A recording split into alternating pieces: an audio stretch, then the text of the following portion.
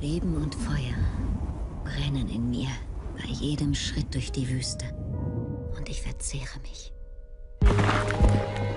Ich möchte Ihnen Gertrude Lothian Bell vorstellen. Verschrecke die jungen Männer nicht mit deiner Intelligenz. Schickt mich weg von hier, irgendwohin, bitte. Wie wär's mit Teheran? Es ist das geheime Zentrum der Welt. Es ist wundervoll. Die arabischen Nationen erwachen aus eigener Kraft. Wohl wahr, Gertrude, Darling. Darling. Ob der richtige Mann für Sie schon geboren ist?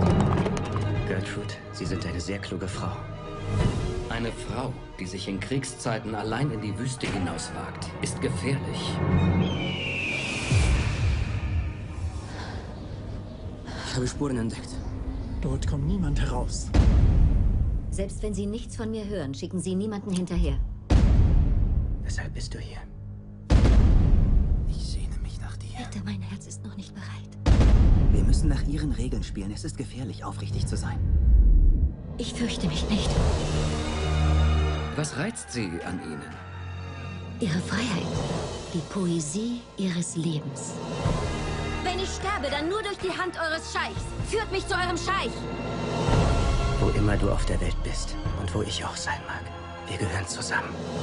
Sie ist die Königsmacherin. Sie ist die ungekrönte Königin der Wüste. Ich trage sie immer im Herzen.